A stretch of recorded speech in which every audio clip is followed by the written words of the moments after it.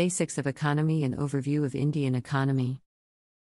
An economy is a system of organizations and institutions that facilitate and play an important role in the production and distribution of goods and services in a society.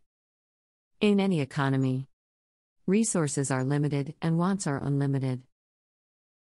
In order to cater to the demand for unlimited wants, the biggest challenge is to allocate the resource effectively and utilize the resource efficiently. Economics is the study of how people in a system allocate scarce resources for the purpose of production, distribution, and consumption, both individually and collectively.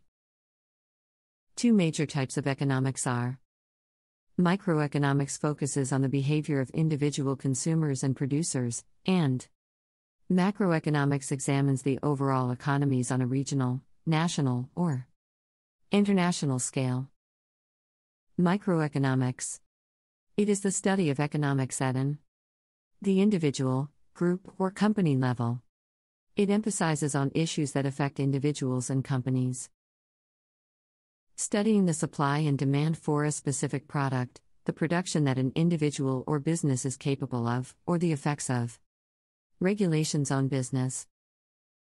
Macroeconomics. It is the study of a national economy as a whole.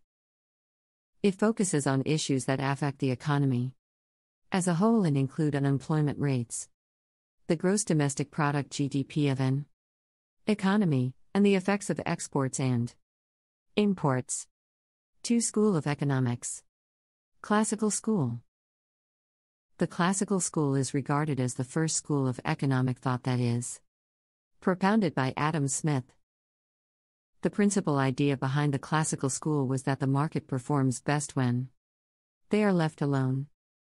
There is nothing or very little role for government in the classical school of economics. It highlighted the concept of laissez faire, non interference by the government. The theory suggests that the invisible hand of market forces will bring a state of equilibrium in the economy, a state of equilibrium and general well being to the countrymen. Keynesian School of Thought John Maynard Keynes questioned the classical school of thought. He questioned the very principles of laissez faire and the nature of the invisible hand. He believed that the invisible hand brings equilibrium to the economy but by strangulating the poor. Keynes suggested strong government intervention in the economy.